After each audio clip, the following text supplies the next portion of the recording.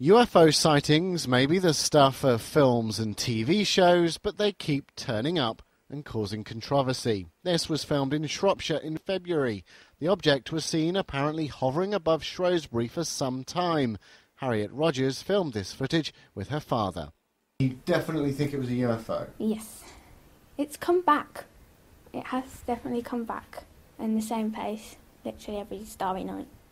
As the sightings continue, the latest of Britain's X Files are being released. These cover UFO reports between 1987 and 1993, around 1,200 separate sightings. One of the most intriguing relates to this photo taken from an RAF Harrier jet near Pitlochry in Scotland. The object was said to have hovered next to the jet. Other witnesses saw it hanging in the air for 10 minutes before heading off at high speed straight up. Unusually, the decision was taken to brief ministers about this incident just in case.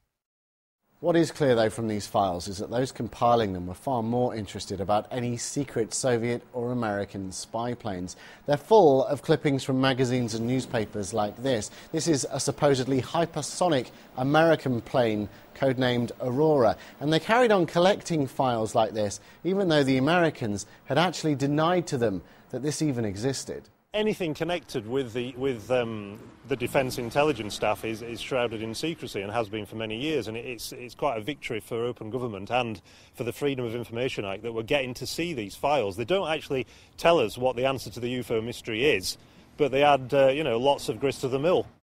There are also some rather bizarre reports contained in the files, including one close encounter with an alien near Norwich. It apparently spoke with a Scandinavian type accent. In London in 1993, a spate of UFO sightings was eventually explained by an illuminated airship advertising a new car.